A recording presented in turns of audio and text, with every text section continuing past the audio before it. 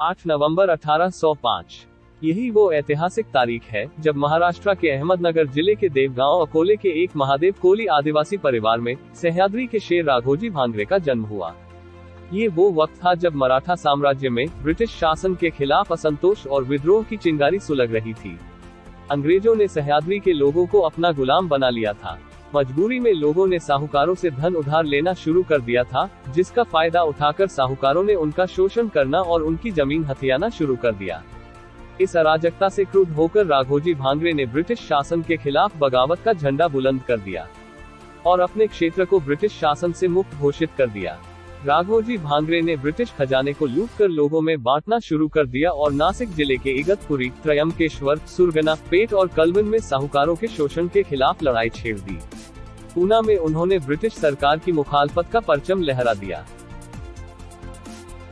अंग्रेज़ों का जो प्रतिरोध है वो तो भारत में उस दिन से शुरू हो गया था जिस दिन से भारत के अंदर उन्होंने अपना वर्चस्व स्थापित करने की कोशिश की थी। करीबन 250 ऐसे विद्रोह हैं जो जगह जगह पे अंग्रेज़ों का प्रतिरोध किया गया।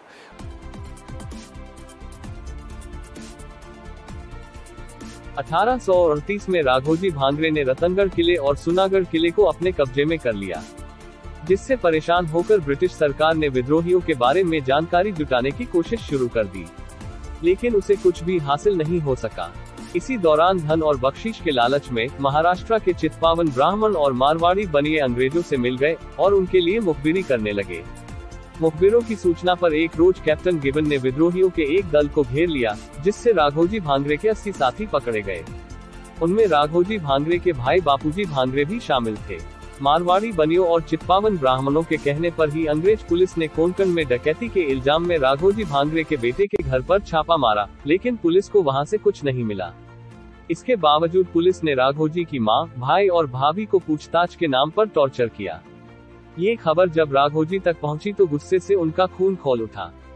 उन्होंने अपने घर वालों से दुर्व्यवहार करने वाले पुलिस अधिकारी की गर्दन मरोड़ दी और 10 सिपाहियों को भी हलाक कर डाला।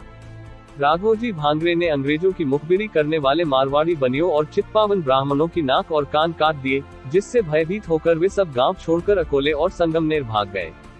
इस घटना से बौखलाए अंग्रेज़ों ने राघोजी भांगरे को डिकैत घोषित कर दिया। इस आग ने एक चिंगारी का रूप ले लिया था और इसी चिंगारी ने जाकर के आगे भारतीय राष्ट्रीय आंदोलन को जो प्रभावित किया कि विभिन्न विचारधाराएँ उसमें से निकल के आई, क्रांतिकारी निकल के आए, जन आंदोलन निकल के आए।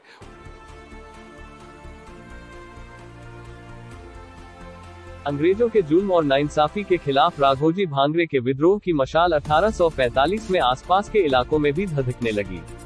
उनका विद्रोह पुणे, सतारा और पुरद्री तक फैल गया। राघोजी ने कई किसानों की ज़मीन को जमींदारों से मुक्त कराया और वे गरीबों के मसीहा बन गए। राघोजी भांगरे को मारने के लिए ब्रिटिश सरकार ने 200 सशस्त्र सैनिकों की एक टुकड़ी भेजी, लेकिन राघोजी के साथियों ने घने जंगल से गुजरते वक्त ब्रिटिश सैनिकों की उस टुकड़ी पर हमला कर दिया। इस हमले से घबराकर अंग्रेज़ सैनिक जंगल में सरवेरा की ओर भागने लगे। राघोजी ने अपने साथियों के साथ मिलकर कई अंग्रेज़ सैनिकों को मार डाला। इस लड़ाई में राघोजी को भारी मात्रा में गोला बारूद और बंदूकें मिली।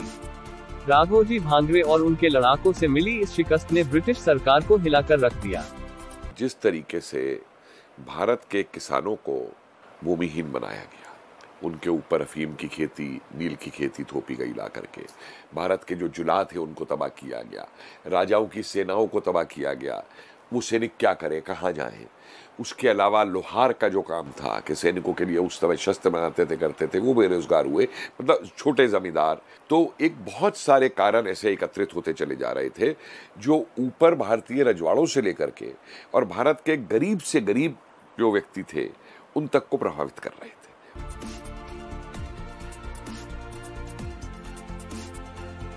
अंग्रेज़ों ने राघोजी भांगरे को पकड़ने के लिए तमाम हथकंडे अपनाए, लेकिन उनके हाथ खाली रहे। आखिरकार ब्रिटिश सरकार ने राघोजी भांगरे को पकड़ने के लिए पाँच हज़ार रूपए और एक गाँव के इनाम की घोषणा कर दी। नतीजा ये हुआ कि भारी इनाम के लालच में किसी मुखबिर ने ब्रिटिश सरकार को राघोजी भांगरे और उसके साथियों के ठिकाने का पता बता दिया। उसके बाद ब्रिटिश सेना ने जुन्नार में राघोजी भांगरे और उनके साथियों पर हमला बोल दिया। अंग्रेज़ी सेना और राघोजी भांगरे के लड़ाके आमने सामने आ गए। राघोजी और ब्रिटिश सेना के बीच भयंकर युद्ध हुआ। इस लड़ाई में ब्रिटिश आर्मी की जीत हुई। इस जीत के बावजूद ब्रिटिश सरकार राघोजी भांगरे को पकड़ने में नाकाम रही। वे जुन्नार के बाज़ार का फ़ायदा उठाकर सुरक्षित बच निकले। लेकिन उस लड़ाई में राघोजी ने अपने कई साथियों को खो दिया। जिसके बाद उन्होंने भूमिगत रहकर एक बार फिर आदिवासी लड़ाकों को इकट्ठा किया और पुरंदर में विद्रोह की चिंगारी भड़का दी। लोगों को तोप के मुँह से लगा के गोलों से उड़ाया गया। गाँव के गाँव जो है, उनका नाम मिटा दिया गया नक्शे के ऊपर से। उनको जलाया गया, मारा गया। मतलब आज भी ऐसे ऐसे गाँव मौजूद हैं जहाँ पे वो पेड़ हैं जिनकी लोग पूजा करते हैं। जिनके अंदर पचास पचास स्त्रियों को जो है, फांसी के ऊपर टांगा गया।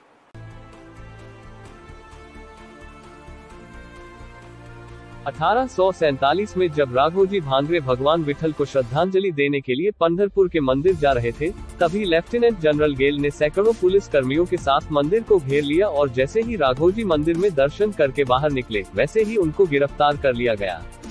गिरफ्तारी के बाद राघोजी भांगरे को अदालत में पेश किया गया। शातिर गोरो ने इस बात का पूरा इंतज़ाम कर रखा था कि राघोजी को कोई वकील न मिलने पाए।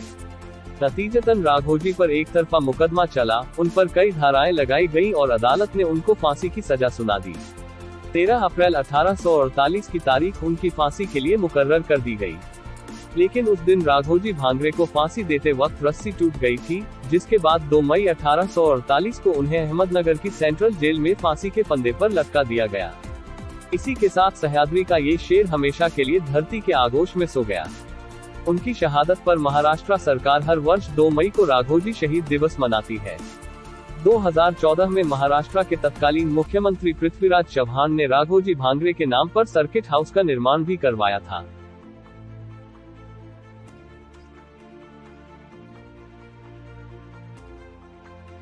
राघोजी भांगरे के पिता रामजी भांगरे ब्रिटिश पुलिस में नौकरी करते थे, लेकिन बाद में उन्होंने वो नौकरी छोड़ दी थी और ब्रिटिश सरकार के खिलाफ विद्रोह कर दिया था। गिरफ्तारी के बाद उन्हें अंडमान की सेल्यूलर जेल में काले पानी की सजा सुनाई गई थी। राघोजी भांगरे के दादा के सगे भाई बालोजी भांगरे भी क्रांतिकारी थे। उन्होंने पेशवा के खिलाफ विद्रोह किया था और उन्हें तोप से उड़ा दिया गया था। राघोजी भांगरे के भाई बापूजी भांगरे ने भी अंग्रेज़ों के खिलाफ विद्रोह में हिस्सा लिया और शहीद हुए। Central desk, Koli times.